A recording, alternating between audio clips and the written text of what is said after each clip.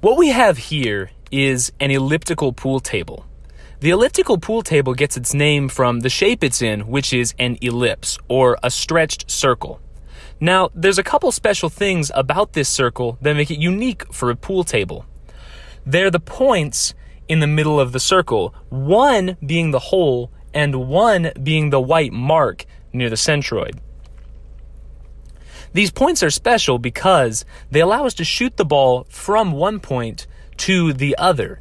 And the ball will always travel from one point to the other due to the properties of an ellipse.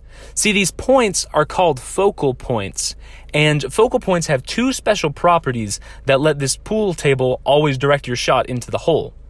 The first property is that the distance between one focal point to the edge to the other focal point is always the same.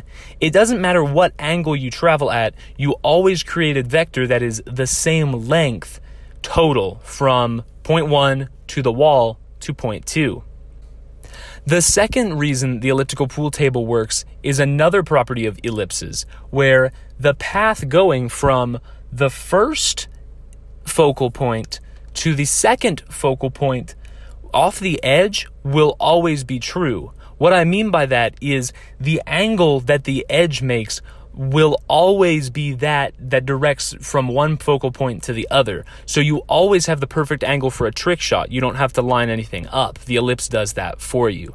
And thus, you should always be able to shoot the ball from one of the focal points to the other or from the white mark into the hole.